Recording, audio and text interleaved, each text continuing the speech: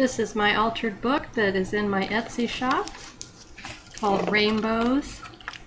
It's a vintage 1930s book that I have embellished each page with fabric, lace, buttons, adding pockets on each page.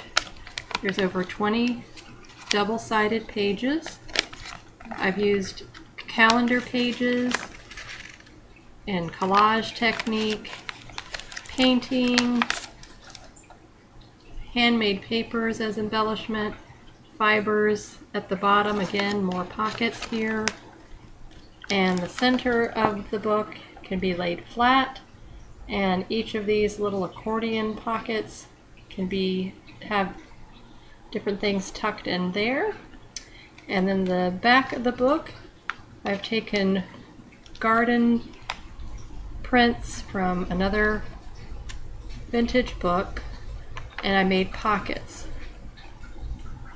So each of these pages in the back there's six pages in total have pockets.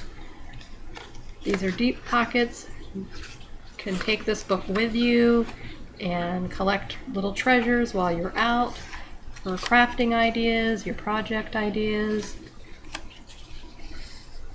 Just use it for lots of different things, journaling.